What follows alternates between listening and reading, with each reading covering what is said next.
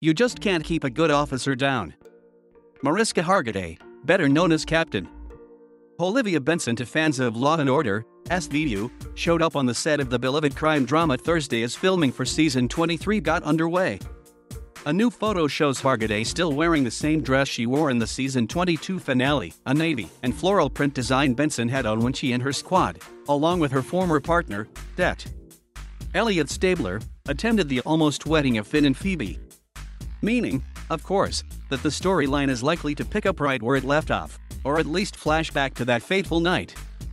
Only this time, in the new pic, Hargitay sporting a couple of accessories that weren't part of last season's storyline, crutches under each arm and a boot brace on her right foot.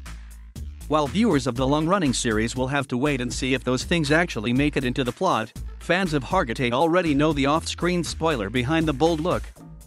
Earlier this month, Hargitay revealed that she broke her ankle, an injury that was just part of a recent run of bad luck for the 57-year-old star, as just six weeks earlier, she had suffered a broken knee, a hairline fracture of her other ankle and a torn ligament.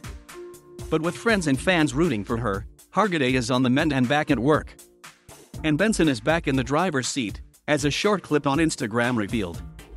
SVU 23, it's happening, Hargitay whispers from behind the wheel in the dark scene. Lights, camera, action. Just hours after the Emmy winner shared that video, Meloni took to his own account with a whisper filled message and a post tagged to his pal. I hear you're back at work, the 60 year old says quietly. I hear it's very cinematic. Where are you?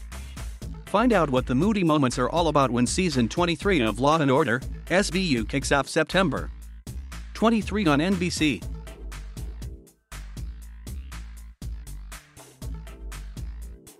Thank you for watching. Please subscribe